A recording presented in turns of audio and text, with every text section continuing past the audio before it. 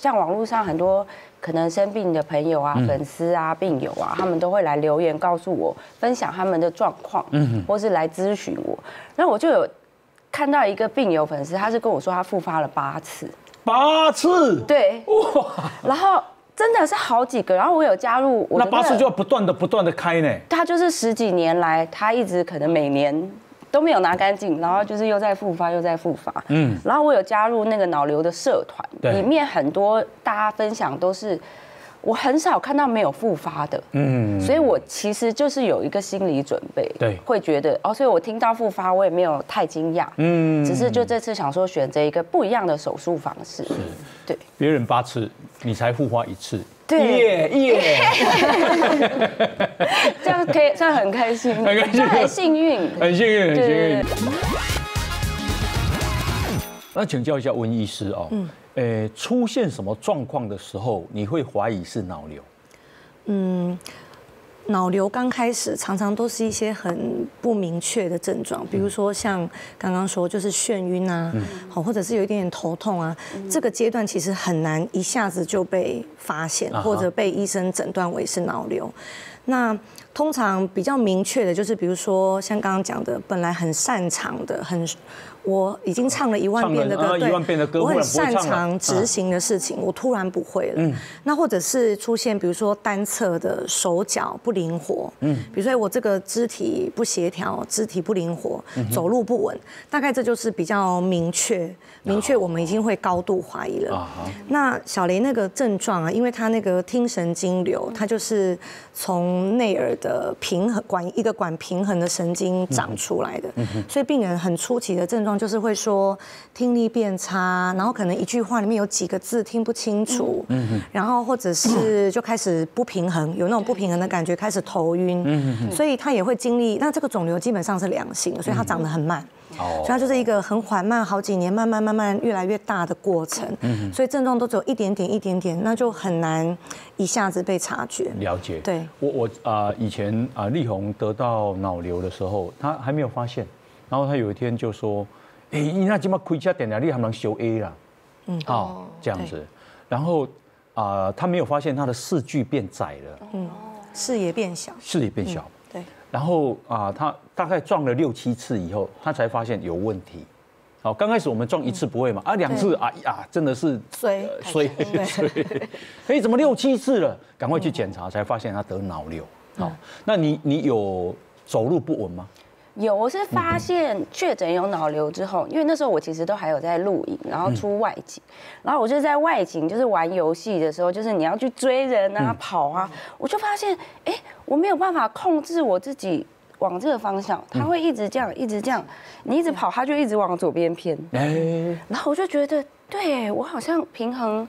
我突然没有办法自己控制，嗯嗯嗯，对，这是比较明显的一个症状。就如果有漂亮小姐，我们一直过去，我们就会说啊，脑瘤。你就一直这样就是脑瘤吧？脑瘤那是骨骼。哦，走路会会没有办法，就是没有办法直线，你脚这样这样踩，你是完全没做不到那个动作的。哇，听说。这个啊，跟你交往才五天的男朋友陪你一起去看诊啊？对，哇，我们才刚交往，就说哦，那我陪你去看医生啊，然后我们就去看报告，刚好那个核磁共振报告出来，我还在跟医生边聊天啊，我们想说也不会有什么问题，嗯，然后医生就突然把电脑这样转过来说，对，哎，那个因为你看一下你这边那个脑瘤这么大颗，嗯，然后我跟我的男友就这样对看了一下。可是因为我们还在开玩笑，你知道那个情绪很难突然转换，然后我们就哦，好好好啊，他就是建议我去大医院，嗯，就是专门有开刀的医院去就诊这样。啊，你看他是说，那你还要跟我交往吗？是这样。我们两个对看完啊。结果其实我们两个都超级冷静的，都没有说 怎么会这样，或者很紧张。嗯，他也是很冷静，他就说哦，那就看明天约什么医生去看诊这样。嗯嗯，对。后来他有没有跟你分手？没有，到现在还在一起。哎，这个不错。对，而且他也都没有把我当病人看待。嗯，对对。陪着你哎。对。可是你生死不明哎。也没有到生死不明了，就是。现在想起来过程是还蛮长的，但是他对一直都在。那你啊，开刀的过程里面，男朋友有没有这个无微不至的侍奉汤药啊？陪在身边。他有陪在我身边，然后还就是因为整个过程，我在开刀过程还搬家，因为我本来住的是楼中楼，然后他就担心我开完刀没有办法这样讲上楼中楼很，麻烦呢，对。晚上上厕所或是什么都要爬那个楼梯。嗯，他就是直接都，我开完刀我就已经搬到新家了，都弄好了这样，环境就是适合休养的环境。那不错不错不错，那这个啊，你这个刀好开吗？不好开，我那时候开了十几个小时啊，对，而且怎么说不好开？应该是说它粘着神经很多，你如果像是说我今天要把它拿干净的话，你一定会伤到像我的颜面。我现在已经好很多了，因为我是直接颜面失调，当下开完刀哦，然后醒来想哭，因为很痛嘛，想哭就是哎那个眼睛都没办法动，你就感觉到，我就想说完蛋了，我颜面失调了，嗯，对。那现在还有吗？现在还有啊，你看，一点点，很明显吧？你的左边一点点，嗯，这样，嗯，其实好很多，对，对，本来是完全左边都不会动，我到现在还是会这边会一直老把油，嗯，然后眼睛会有点闭不太起来，不太容易控制，对对对，就会很干，啊。但是已经是好很多了。这对你的心情伤害大吗？心情伤害大吗？我觉得我好像还好，因为女生爱漂亮嘛。对，就是当下，因为一直很不舒服，然后就是你躺在那边，时间其实我觉得还蛮快就过了，嗯哼，然后就习惯了，嗯哼，所以对我影响其实没有到非常大，没有影响大哦，我会慢慢好了。他现在已经五年，已经算是我现在就觉得是最好的，很最好的状态下，对对对，因为我是听说不太可能百分之百恢复嘛，对对对。那请教一下这个吴医师，如果他没有开刀，会死掉吗？嗯，他肿瘤越长越大，它终究也会颜面神经无力，就是对，就是然后再来就是听力会越来越差，然后再来就会开始压迫脑干，嗯，对，然后不平衡啊，然后肢体的不协调会越来越多，嗯，但是它不会。一下子导致病人死亡，嗯，但是通常这个阶段就已经生活上有很多的困扰了，大概都要积极处理了。嗯。嗯，他说啊啊，这个检查有四公分的脑瘤，那我们脑到底能装多大的瘤还装得下去？哦，这个位置四公分算大了，这个位置四公分已经开始就是已经很不平很不稳啊，然后。嗯，就压迫其他的。对对对对对，因为他脑干脑干就在旁边，对，脑脑干就在前面这个这个位置，所以。呃，压迫脑干就会开始有很多肢体不协调的症状，对，步态不稳这些。嗯嗯。那这个刀也确实真的是呃技巧手术比较复杂，技术难度比较高的。嗯。因为那个颜面神经跟那个它长出来那个，对对对，跟那个第八对脑神经，它们其实就是半形走在一起的。嗯。那那个神经就是你的颜面神经，其其实都是被。被推开，然后整个神经就是粘附在那个肿瘤的表面，它都是发散的。所以其实手术过程，嗯，医生都很希望可以尽量的把肿瘤切干净。可是那个颜面神经就是被压得扁扁的，发散在那个肿瘤的表面。所以其实都投鼠忌器啊，就是我们又想把它拿干净，可是，在硬要拿干净的过程，颜面神经真的很容易拉扯啊，然后就有点功能有生命上的风险吗？呃，这个位置除非很大，嗯，可能会有生命的风险，嗯，对，但是很少啦，通常都还是还是在颜面神经无力的阶段就已经得要赶快处理了。哦，那啊，小雷有写遗书吗？没有，没有写啊？没有，我没有想过。你怎么知道推推出来的时候你还在呢？哎，没有想过这个问题，真的哦，反正没什么财产。对，是这样说没错。真的哦。对，没有担心哎，真的。啊，爸爸妈妈应该很担心吧？我是到开刀前几天才跟他们说。啊，你都敢你一个人承担哦。我不敢，我怕他们。太早知道要担心很久，然后你知道过程了，还要经过开刀很长，所以我就是决定了手术时间，前两天才跟他们说的。你要跟他说我很辛苦，我长脑瘤，每个月光营养费要十万。没有，我是跟他们说不用担心，这很简单，手术一下就好了。我就是这样跟他们很孝顺，很勇敢，孝顺。嗯，很孝顺。那呃，你现在开完刀了，你都是怎呀？生活有没有什么改变？生活有什么改变？嗯，就是不太，已经很少在工作了。嗯，因为我觉得是因为颜面失调关系，加上我的工作的属性，我就会觉得哎，别人会不会觉得找我上节目，你那脸那么歪，如果来介绍一些漂亮的东西，会不会很奇怪？嗯，我自己就会想比较多。不会不会，你依然还是很漂亮。谢谢，就是会担心，所以就是到现在五年，我基本上都还是在休息。嗯，对，因为中间还有复发啊。对对对。可是那没有收入啊。没收，就是靠一些业配啊。啊。经营网路。经营网络靠业配，这样能撑我撑得下去哦？可以，哎，还有男朋友，男朋友哦。这个因为我的花费非常的少啊，这可以嫁，可以嫁，这可以。对，这个 你有没有可能找 boy 有供嘛？哦，哎呀，男生有没有说要娶你啊？没有哎。那你没有跟他讲你要不要娶我？也没有。来，你现在跟他说，男朋友在看电视。现在跟他说，对，啊，不好吧？怎么会不好？我觉得我们两个现在这样非常好，就是稳定交往。那 他如果哪一天跑掉了呢？我觉得不会，我很有安全感。好，这个很好了啊，小雷还好有一个很好的结果哈。对，刚刚我们看到的小雷的照片，其实是你啊第二次复发。嗯嗯。好，请教一下温医师，为什么会复发呢？嗯，肿瘤只要没有完全开干净，其实它就有复发的可能。嗯，对，开干净。对啊，这个位置真的就是投鼠忌器啊，就是我们呃又想要开干净，可是又怕伤害听力，又怕伤害颜面神经。嗯哼，对。所以第一次没有开干净。呃，会复发的话，应该是。哦，那第二次有没有干净？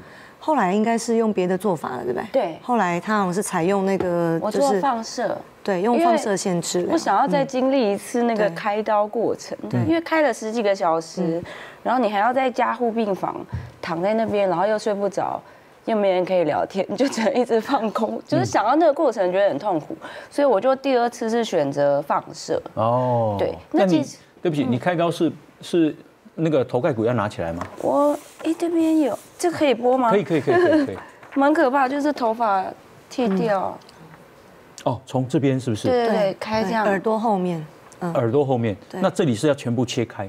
对，切开。啊，对。然后如果我们会磨开。哦，磨开。对，就是磨骨头磨开。对对对对。磨是什么意思？就是我们术中用那种手术用的高速电钻，把那个骨头磨开啊，才能够进到磨磨磨磨开磨骨头啊那种。嘿。啊，才能够进到颅内，然后把脑膜打开，才能够看到这些，呃，小脑啊、脑干啊，然后那为什么不是从这里把它切掉，然后翻开来？呃，在其他部位是这样开，嗯，这个部位啊，这个部位是这样。因为像金超群的，你就看到它是一个 L 型的疤，它就是这样子。对哦，不同部位有不同的做法啦。哦，好好好，哇，所以这个伤口在这有这么长哎哈。对，而且我当下其实还有请那个神经监测的团队。有有，这个手术术中一定都要做神经监测啊。我们就是一边监测啊，这边太靠近也变神经了，那这边不能再动了。嗯，对，嗯，这个是引流吗？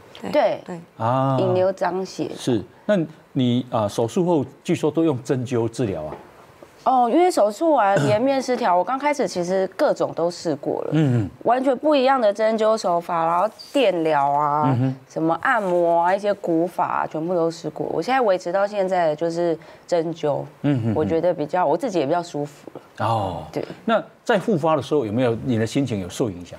我还好哎，是因为我有很多像网络上很多可能生病的朋友啊、粉丝啊、病友啊，他们都会来留言告诉我，分享他们的状况，嗯，或是来咨询我。那我就有看到一个病友粉丝，他是跟我说他复发了八次，八次，对，哇，然后真的是好几个，然后我有加入，那八次就要不断的、不断的开呢。他就是十几年来，他一直可能每年。都没有拿干净，然后就是又在复发，又在复发。嗯，然后我有加入那个脑瘤的社团，里面很多大家分享都是，我很少看到没有复发的。嗯，所以我其实就是有一个心理准备，对，会觉得哦，所以我听到复发，我也没有太惊讶。嗯，只是就这次想说选择一个不一样的手术方式。是，对，别人八次，你才复发一次。耶耶，这样可以，这样很开心，很开心，很幸运，很幸运，很幸运。哎，我依然你这个很乐观开朗的心情哦，态度很好。对对，你怨天尤人也不会变好。对啊，真的。啊，所以就是放轻松，放轻松。对，然后我第二次选择的是，你看，还要做这个面具，嗯哼，就是你要在那边不动，哎，一个多小时吧，让那个泥完全照你的头型去做，然后它是放射去烧那个里面的脑瘤组织，对啊，这个感觉要抢银行，对，很像德州电锯杀人狂，德州电锯杀人狂，呀呀呀，所以啊，这个现在啊状况都一切都很好，你的听力恢复了吗？他不会恢复哎，对啊，左边是左边，嗯，就是听不太到，我觉得他可能是身体想要跟我说。你可以不用太常听别人讲话，没关系。对，我觉得他可能在告诉我这个。老夫老妻这样状况应该会不错。所以才可以在一起这么久。因为我我我去打打球啊，嗯，啊打出来以后啊，有个男生啊，也是七十岁的男生跟我说，啊，我就跟他讲话，他说你你不要再跟我讲话了。我说为什么？我太太接我，他我五年了，他都以为我聋了。拿装啊！因为太太有些很唠叨嘛，他就装聋了，太太就不会再唠叨了，你懂吗？这真的会，可以避免吵架。有些，因为我有时候听得到，我都会假装听不到，假装没听到这样。哦，这样子啊。有时候会听得到几几句重要的、很讨厌的、会想生气的话，但我就会不想回答，我就会假装我听不到。你就讲，嗯嗯嗯，对。什么是你不想听的？就有时候念念念啊，就是说，谁敢这样念你？男友。他念你什么？就是会说，哎，你这怎么不收啊，或者干嘛之类的啦。我现在有点忘了，就是会谁谁连，或者话很多的时候，我都会放空，假装听不到。对，然后就不回答他这样，就是所以感情就很不错。学到了，这样是哎维系感情的好方法。有些就光注光听，装作听不懂。是，所以有些你知道，有些呃稍微有点年龄的男性啊，然后可能本来有装那种助听器啊，在家里都是拔下来的啊。哦，在家里就拔下来，出门才戴啊。啊，因为家里就听不见啊。哦，是 哦，助听器，对你弄弄下来就听不到了。对啊，对，是公。哎，嗯。那请教一下以礼啊，像他这样的手术啊，在饮食上或者是在保养上有没有什么要注意？其实术后因为跟我们的脑部神经有关，第一个就是说，因为我们脑部主要供给的营养素是葡萄糖嘛，嗯嗯，所以基本上来讲的话，我们在淀粉类的部分，你有葡萄糖，然后又有维生素 B one。B one 也是跟神经的连接有关，那我们会建议就是说，在淀粉类的东西里面选择，比如说像比较偏糙米啊、燕麦这一种，它有葡萄糖之外，它有维生素 B one 丰富啊，所以会建议就是把这个白饭的部分改成比较是维生素臭米，尤其是 B one 啊，好，那跟神经的连接传递有关，那侧米，嗯，好，或者是五谷米啊，也可以这样子。然后蛋白质的部分呢，我们当然是以我们可以说所谓 DHA 嘛，好，那就是鱼类的部分。我通常会推荐，比如说像青鱼、鲑鱼啊，阿哥五南部的那个那个沙巴鱼，沙巴鱼它其实它的 omega 三也是算蛮高，而且其实它的那个就是说在吃整条的话，你看它油脂很丰富啊，所以我蛮推的啊。像秋刀鱼、鲑鱼、青鱼这个都很好。阿哥五哥用蔬菜来宾啊，当然大家当然会讲到绿色蔬菜，可是我会建议啊，就是说如果是脑部保养的话，通常我们会给藻类。的东西。哦，好海藻类的海带类的东西，为什么？因为藻类的东西，它在体内就是它也是算是说，它可以有机会转换成 omega 三的脂肪酸，嗯，所以藻类的部分也是可以多摄取。对，然后另外坚果的部分，当然我们会希望坚果也可以多吃，但是我们会建议就是几个油脂比较高的坚果，哦，包括就是说核桃的部分，核桃，好，那当然中医说以形补形，那这个核桃其实它里面的 omega 三脂肪酸也很高，另外精氨酸的含量也很高，包括修。修复的部分都有帮助哦，所以核桃啊，还有就是腰果这两个会是首选嗯，哦，那所以从我们的淀粉到蛋白质，还有坚果类啊，然后蔬菜部分藻类可以多吃一点。OK，这个啊，小雷三等于三十四岁就发现得脑瘤了。哎，请教一下吴医师啊，你看过最年轻的脑瘤几岁啊？嗯，不同的种类的脑瘤，它好发的族群不一样。那也有一些，嗯，有一些是儿童的脑瘤。儿童就得脑瘤，有些儿童脑瘤，那也有一些是，比如说青少年的脑瘤，对，所以不同肿瘤它好发的年龄层不太一样。哦，原来是这样，所以年纪大也可能得到，年纪很小也可能会得到。好，新闻哇哇有 YouTube 频道喽，请大家搜寻新闻哇哇哇，或者扫描 QR code，也可以啊按下订阅钮，开启小铃铛，请大家继续分享。